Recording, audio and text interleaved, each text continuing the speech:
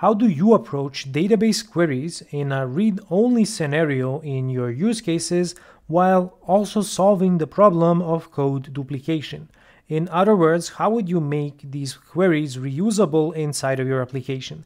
That's what I'm going to discuss in today's video. Let me start by explaining the problem that I'm trying to solve. You can see the follower created domain event handler here, and it's using the iNotification service to publish a notification to the followed user that they have gained a new follower. So what I want to do is to update this method to also include the name of the user that started following the followed user. And I'm going to use the name to write a message like this saying that the user with this name started following you. So the next thing I need to do is to obtain the name of this user. I can do that by using the user identifier that I have on my domain event. And now I just need a way to query the database. So let me show you an example that I don't like so you can see what I think are the problems with this approach. I'm going to use the user repository. I'm not going to inject it from the constructor because I'm just going to use this as an example. And what I'm going to do is I'm going to say user as a variable is going to be the user repository and I'm going to call the getById async method. I'm going to pass the user identifier to this method and I expect to get back a user instance. Now the user could be nullable.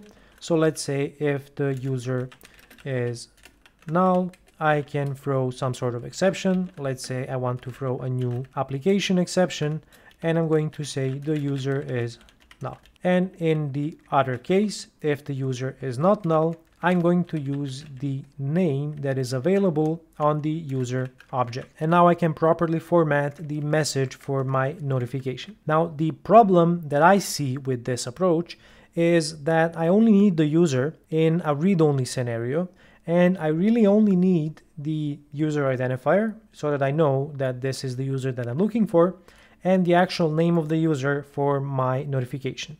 But if I go to my implementation of the user repository, this is actually going to query the database and return back the entire user instance with all of the columns inside. Moreover, it's also going to add the user to the change tracker because this isn't a no tracking query. So you could try to solve this by exposing another method here that's going to return a user which isn't tracked by the database context or an even dirtier implementation by passing in some sort of flag like should track and then determining if you should call as no tracking or not. I think both of those approaches are terrible.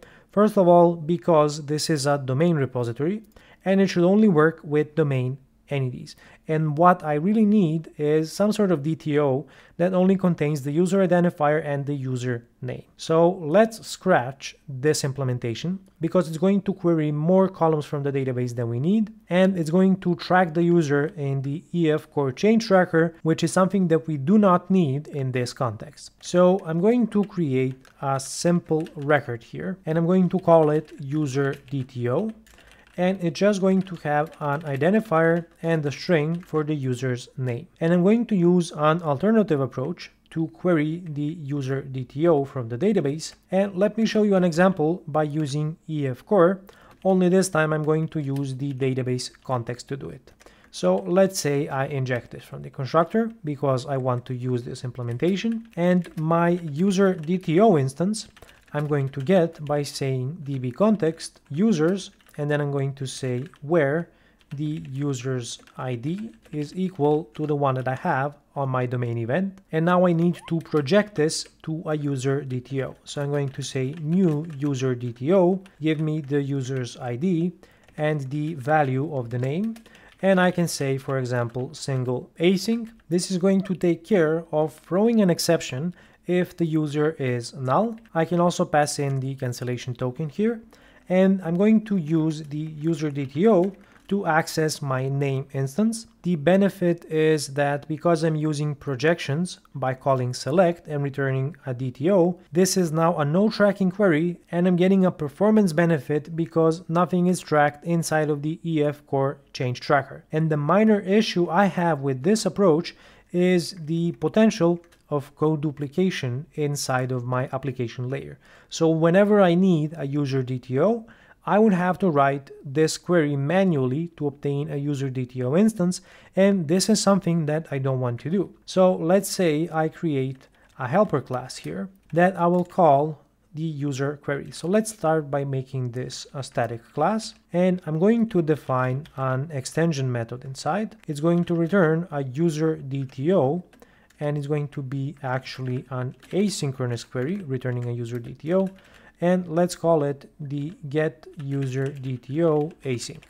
It'll need the user's identifier and a cancellation token. And the actual reason I made this a static class is so that I could make this an extension method. And what I can do is make it an extension method on the iApplication context interface. Of course, I also need to make this a static method so that it can be an extension method. And then for my implementation, I can just copy what I have here and paste it. So I'll make this a synchronous and I'm going to paste the implementation from above. Let me adjust the names of the variables and arguments and now this should compile. So now I moved my query into a simple EF core extension method and I can go ahead and use it above by just calling the extension method. So I'll say get user DTO async. I can pass it the user identifier and the cancellation token. And now I have a way to obtain a user DTO instance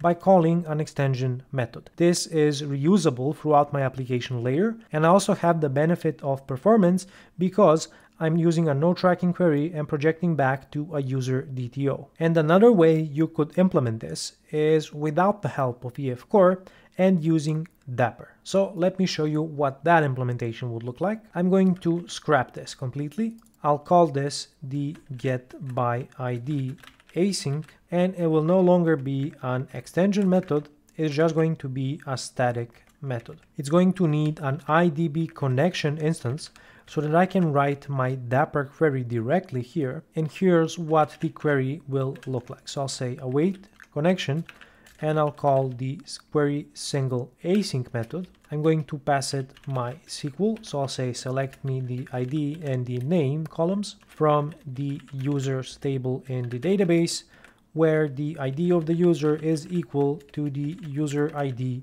parameter. And now I'm just going to pass in my parameter instance using the ID argument of this method. So a fairly simple Dapper query. And I'm going to use it in the handle method of the domain event handler. So I'm going to scrap this here. I'll say await user queries and call the get by the async method and pass it the user identifier and I need to also pass it the connection.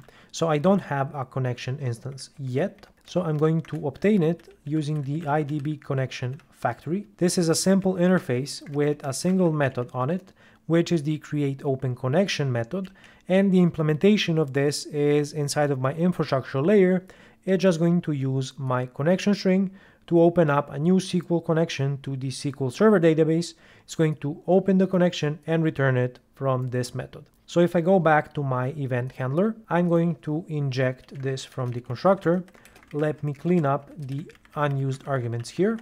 And now I can use my DB connection factory to obtain a SQL connection instance. So I'm going to say using IDB connection, I'll call it connection, and I'm going to call the DB connection factory and create a connection instance. So now I have this intermediate step of obtaining a database connection before I can call my helper method, which is going to use Dapper to give me back the required user DTO. However, the benefit of this approach is excellent performance because Dapper is generally more performant than EF Core and has no notion of change tracking whatsoever. So let me clean up the implementation slightly by just moving around these files before we test out if this implementation is working. So I'm going to move the user DTO under the users feature folder and I'm also going to move the user queries under the users feature folder. So now the user queries class becomes the public interface of my users feature folder and it's going to allow me to share the user information with other use cases in my application layer. So if I go ahead and run the application now and send a post request to my API, that's going to execute my use case and trigger my domain event handler. So if I hit send, I'm going to hit my breakpoint in the follower created domain event handler, which is going to create a database connection and then execute my database query using Dapper and the helper method that I wrote inside of the user queries class. And we're going to get back a user DTO instance containing the user identifier and the name that I'm going to use inside of the message of the notification that I'm going to send to the user. So I'm going to execute this and we're going to complete the handle method. So this is one approach how you could implement reusable queries in a read-only scenario such as your event handlers when you're triggering side effects in external systems. Let me know in the comments which of the three approaches that I showed you here would you choose. And if you want to find out how to use both EF Core and Dapper efficiently, take a look at this video next where I'm explaining this topic in depth. Thanks for watching, make sure to smash the like and subscribe buttons, and until next time, stay awesome.